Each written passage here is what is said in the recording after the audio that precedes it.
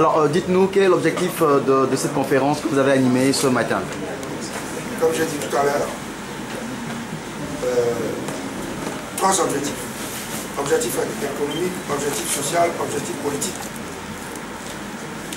Objectif économique, d'abord, démontrer par les chiffres que notre pays dispose de ressources considérables et que le discours récurrent sur l'insuffisance des ressources euh, est fallacieux et que le pouvoir répété d'unir ment régulièrement au Togolais sur la gestion des ressources du pays, euh, comme le témoigne l'affaire de la BTC ou l'affaire Togo Télécom.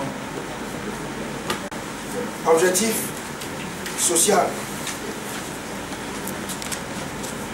des, des Togolais, les travailleurs togolais, les fonctionnaires, les agents de l'État, depuis 5 ou 6 ans, ou même un peu plus, euh, émettent des revendications relativement à l'amélioration de leurs conditions de vie, de leurs conditions de travail. Et le pouvoir répond régulièrement, on n'a pas suffisamment de ressources. Eh bien, notre exposé démontre le contraire. Et donc nous avons voulu montrer que une collecte rigoureuse des ressources budgétaires peut permettre d'assurer un minimum vital décent aux Togolais. Objectif politique. Objectif politique, puisque quand même, sommes un parti politique. C'est de montrer que ce n'est pas un hasard si le pouvoir refuse les réformes politiques. Parce que les réformes politiques vont permettre le départ,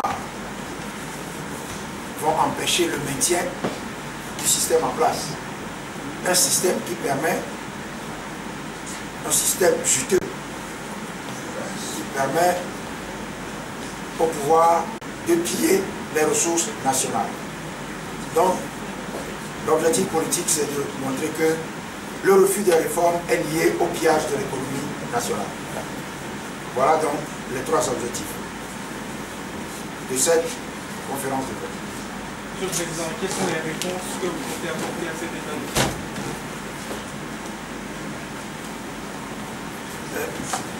Les réponses, c'est d'abord l'information, la sensibilisation de l'opinion nationale. Il faut que les Togolais sachent que le Togo est un pays riche qui est pillé par le système RPT uni. Et donc, pour que et que les Togolais puissent réagir. Maintenant, sensibiliser également les partenaires du Togo pour leur demander d'user de leur influence pour que ces pratiques cessent. Est-ce qu'un jour nous allons récupérer cette somme d'argent-là, Monsieur le Président Vous avez foi en ça? En ce qui nous concerne, nous, quand nous serons au pouvoir dans quelques mois, nous ferons tout pour récupérer, sinon la totalité, du moins une grande partie de cet argent, parce que, vous savez, quand on voit le dénuement, la misère dans laquelle vivent les populations togolaises, on est horrifié par le niveau de la prédation de l'économie sur l'économie nationale. À la lecture des graphiques, on a remarqué qu'à partir de 2005, il y a eu, je ne sais pas, une doublure ou bien bon, une cadence dans le pillage. Qu'est-ce qui explique ça? L'accélération du rythme Voilà. du pillage. Voilà. Mais vous, euh, il ne vous a pas échappé, certainement, que nous sommes passés du père Nyasimbe au fils Nyasimbe. Et que,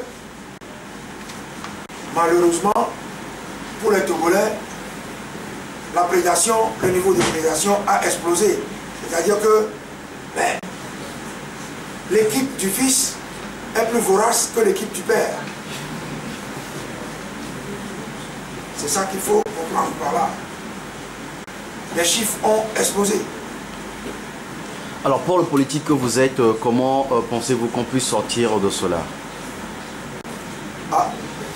Il y a une seule solution que les Togolais se mobilisent pour faire partie du régime en place, qui est l'auteur de ces horreurs.